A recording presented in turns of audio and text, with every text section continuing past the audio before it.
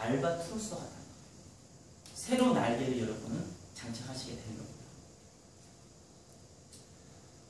자, New Normal이라는 책을 한번 또 보내주고 이 책에 보면 이렇게 말하고 있습니다. 뭐라 말하고 있냐면 전에는 컨텐츠가 왕이었어요. 컨텐츠는 좋은 됐어요. 지금 이제 컨텐츠 얼마나 접촉하고 얼마나 많은 사람들이 내 이야기에 접촉하느냐 내 카스에 내 페이스북에 내 블로그에 어떤 사람 많이 접촉하느냐 거기에 이제 내 경쟁력이 된다.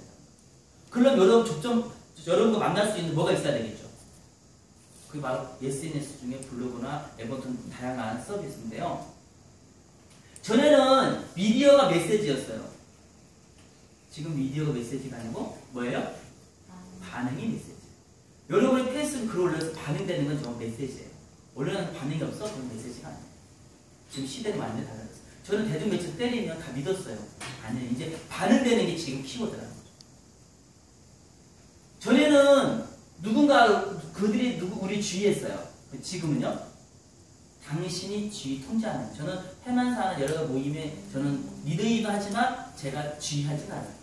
다 모든 사람이 모, 모임의 주인공입니다. 자,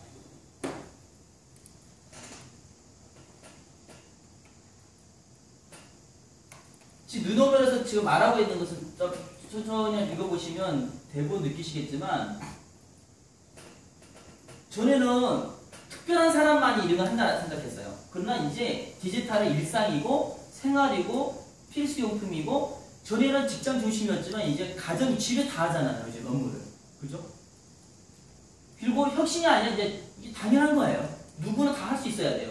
전에는 어떤 것을 할때 누구한테 의뢰를 해서 더 비싼 돈 주고 아니에요. 몇 가지 기술만 익히면 여러분이 다 강구하고 여러분이 피해날 수 있어요.